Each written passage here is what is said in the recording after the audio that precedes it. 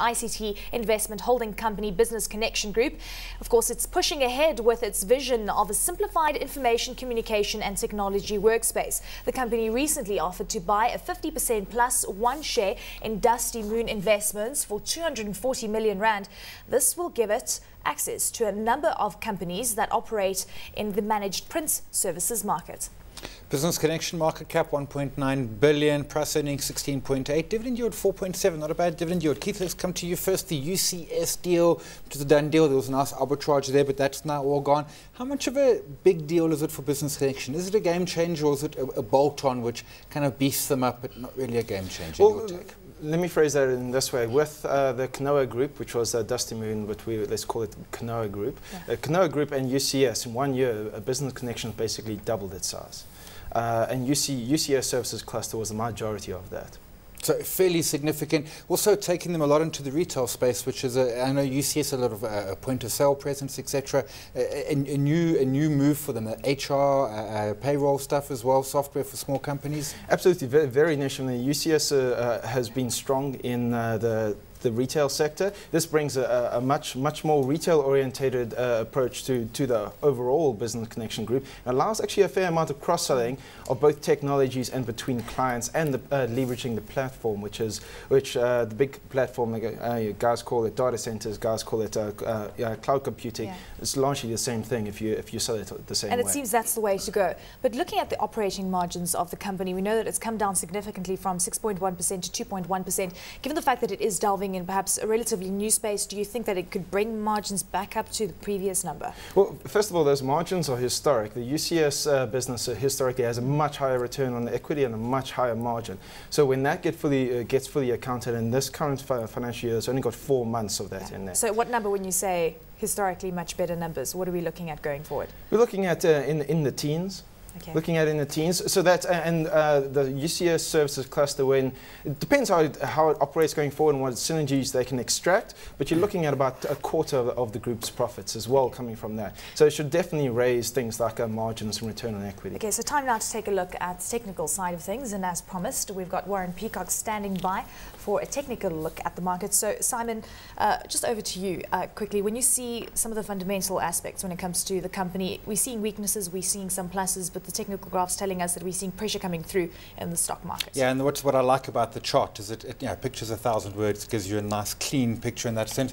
Warren, let's come to you. Uh, what, what certainly what we're seeing with Business Connexion is we're seeing a price that's come down fairly significantly. Uh, you, are saying broken support at, at, at, at 494, uh, kind of hovering just below it. Are we looking? Would you look forward to potentially still go lower? I would be looking for it to come back to about 442.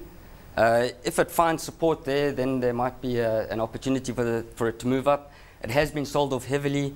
Uh, we've had that really strong trend downwards. We've got some support on the short term, uh, but still below the longer term. That supported was support. the 494, which it's kind of pierced, but hovering, sorry, four, four, yeah, 494, broken yeah. it, but kind of hovering below. Yeah, I mean, it's made a new support line, but on the really short term, I wouldn't take it too seriously. It's a long-term chart. Uh, I would be looking forward to come to about 442, and obviously if it breaks that, when we go right back to, to around the three rand level. Okay, so perhaps two things that are happening there. I mean, when you look at the pressure that has come to the fore, uh, we're starting to see a bit of negative sentiment uh, with uh, uh, Business Connexion, or do you think that it's just showing that the company is in value territory, Simon? I, I, always the hard part, and the question comes in. I mean, at this point, looking at the chart, do you jump in now, or do you say, hey, it's looking like some weakness, and let's look for that weakness to come in, and rather go jumping around it at that 442, maybe the 450 preempted, but at 480 overpaying Keith, I want to come back to, to, to cloud data centers, call them what you will. We've talked them about, they, they are very much the future. You don't have your data remotely anymore. Uh, and it's happening, it's not just the big companies, it's even the Gmails, etc. of the world.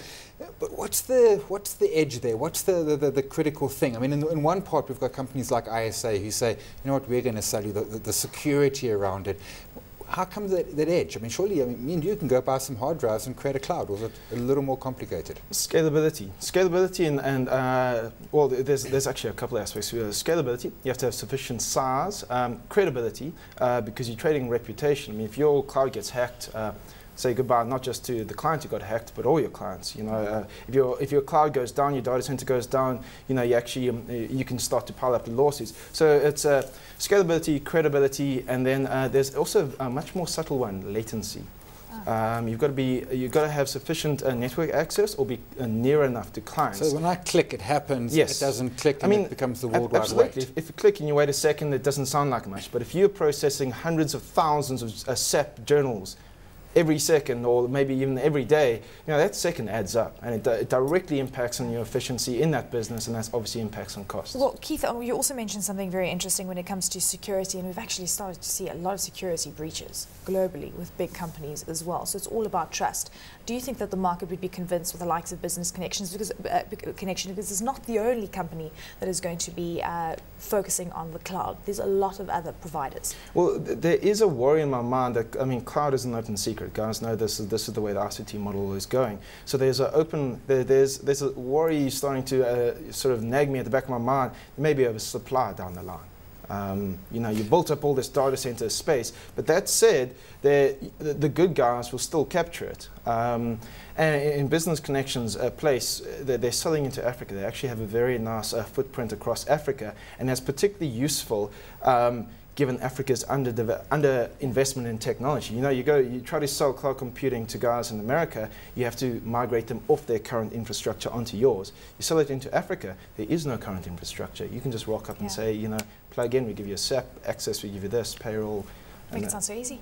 Exactly, it eh, is. Eh, but it is. All you need is internet connection. It, it comes to that, that, that oversupply and that capacity. And then one of the things, when, I, when I'm going through BCX, and I keep on, you know, what is their edge? Uh, eh, They, they've got a lot of annuity income, so obviously to a degree it's relationships. They've got the, the, the products they got from UCS, Access, and others like that, really, really good stuff. In many cases in the IT space, your edge is staff who are expensive and mobile. Well, if you build a data center, the interesting aspect that changes a little bit because your data center isn't mobile. Um, uh, whereas you can start to source staff internationally, and you know, there's there's arguments that cloud computing, the traditional ICT services model, yes, um, you know, your labor mobility is a major pain. Um, cloud computing may not actually end up to be that much. I, I want to go back to, to, to Warren. A, a quick question on the 442 level. I was commenting that uh, uh, you know buy there. As a, as, a, as a trader, do you do you wait for the 442 to hold? Do you wait for it to break, or is it a case of of, of you know, kind of like uh, watching and feeling? How do you play it when it gets down to that sort of level? Uh, I would be looking for 442 either to hold or it must break above that 496 level, uh, previous support becoming resistance. And that's sort of what I'd be looking at. Okay, so gentlemen, I think crunch time. Uh, hot or not for the stock? I think Keith, let's start with you. Well, it's uh, what I see when I see that graph is it's simple. The results are very weak, um, and a lot of it has to do with uh, timing of revenues that are coming through in the, in a you know la- later half and, and into the next financial year. And at the same time, you have a company that's evolving its business model as, as times are changing. Um, so the results surprised on the downside. It was disappointing. The market reacted. It's simple. It's uh, pessimism factoring into the, into the share price, but it's not necessarily reflective of the fair value. I remain contrarian. I like this company. It's, a- So it's hot for definitely you. That was a long way to say that it's was, I was like, yeah, waiting for the keyword. Hot. So you're not seeing it as a value trap, you're seeing value. No, I like it. Simon. I, I, they've done a lot. I like the UCS deal. I think it's a great deal. I think they've got some great products there. They've got great annuity. Keith talks about margins into the teens, all very nice. I want to start seeing it first. And, and, and, and the chart's telling me that the market's probably taking Okay, the so if you're a chart man, uh, for you, uh, Warren, is it hot or not relative to what we're seeing on the technical aspect? I would be looking for it to break above that 496 before I, before I looked at it now. So in currently, not. So not hot for you. Not okay, really, no. So we've Well, got. I've, I've got to buy my stocks from somewhere. Fair point. Absolutely. Okay, so let's delve into the next uh, stock and still within the ICT sector. ICT holdings company Gijima recently bought the local business of US group BMC Business Service Management from African legend Indigo.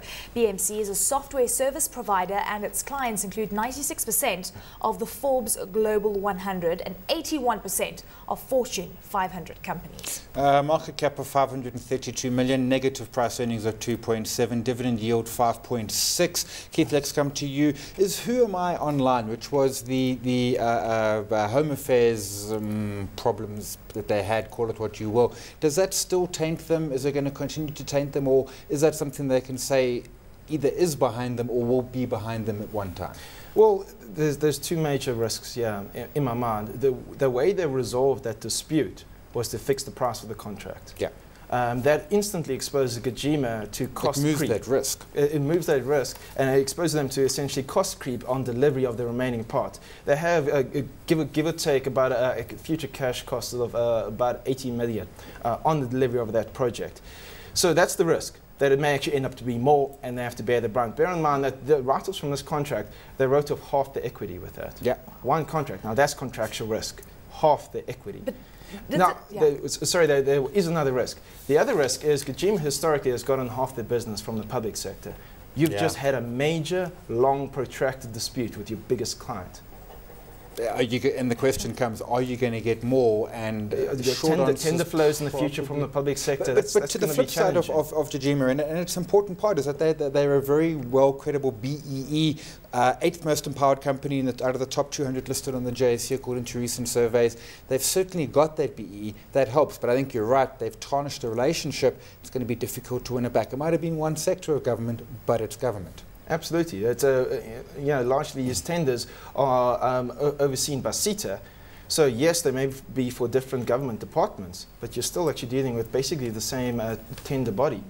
So that, that relationship that's gone through them is, is uh, in, my, mind, definitely at risk. It's quite fascinating because we, we talk about a lot of companies that are starting to get contracts from the public sector and we're saying it's a positive and then sometimes we speak about companies saying they've been burnt by public uh, sector contracts or perhaps they've been too focused on government contracts and that has been their weakness or perhaps too focused on one single customer whether it's be in the corporate arena or the public sector. so it's about yeah. balance, isn't a- it? absolutely. It's uh, it- it- you, you look at uh, the quality of, of revenue streams, and one major thing that screams out, like uh, if you remember, uh, Eleni, we chatted about uh, Telemasters. They came out where one client was something like 20, 30 odd percent of their revenue, um, po- possibly even more than a number escapes me. And that obviously screams risk. If, if, if that client goes south, And it was a short-term client. it was a short-term client. That makes it even even riskier. But in, in the same way, you know, public sector should largely be viewed as one client. And I know, Keith, you're waiting with bated breath to see what the graphs are telling us. Yeah, Warren, I mean, what we can see here, I mean, a, a picture paints a thousand words, and this picture is going down.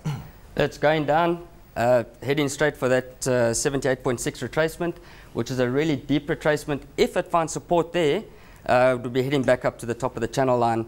I mean, that channel is a 40 cent move. Uh, that, that 78.6, that's a Fibonacci? It is a Fibonacci number. Like I say, deep retracement, I'd be looking for that to hold. So if, if it bounces off that, you, you would expect it to hold a bounce there. Could take it maybe to sort of the 90s, Well, I would expect it to at least get to the 75 level. at least to 75s. Yeah. Strong down channel there. Okay, so more risk uh, on the horizon, Well- can we assume? I don't know so much. Uh, you know, that, that level there, that uh, 52 cents level is very important to me. Uh, I would find that as support.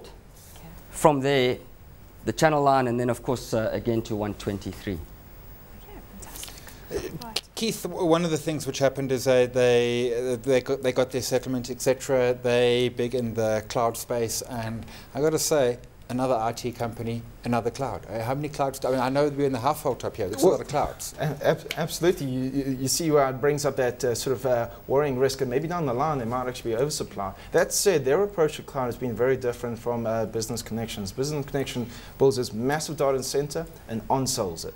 Um, Gijima has been building modular clouds. It's almost, it's almost, um, you know, if you view it just in the, in the scale, sc- scale size, and modular cloud is much more scalable. You manage your costs a bit better. Actually, I, I, I, I like the Okay. idea, but business Less connection has been much upfront. more, much more um, successful in this. So then, their Keith, a approach. heavenly stock for you no, there- there's, there's, uh, there's a lot of downside risk in this company. It's something we don't touch. Writing off 75% of the equity, Yeah. they breached loan covenants.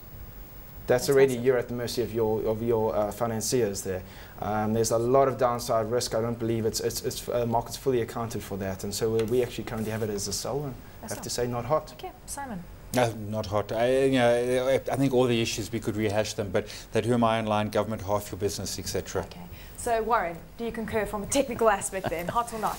Uh, probably not. Yet. Probably not. No, but there's a slight chance I hear in your That, voice that it could be. that 52 cents is critical Okay. to me. If it breaks So that, watch then, that, and if it breaks that, then more downside expected. then definitely not. But if it hits resistance, then If it breaks up, Sure. So there's light at the end Wow. of the tunnel. it seems. We're all in agreement.